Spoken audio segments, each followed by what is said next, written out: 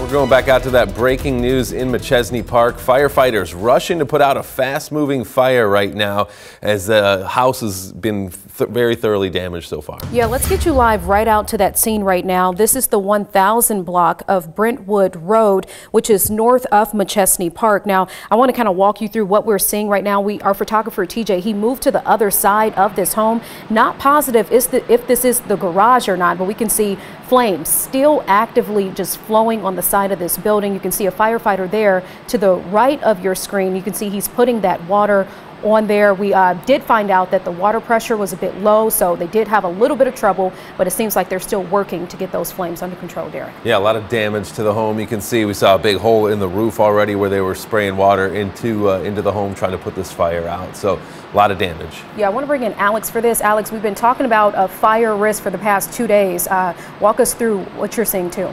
Uh, so for the rest of this evening, the air is just very dry. It's very breezy, very warm. That's all just a good combination where if a fire does start outdoors, it can spread extremely fast. Uh, so uh, not necessarily a factor here, but it could have been playing into all of this. Okay, and we will be following this throughout the night.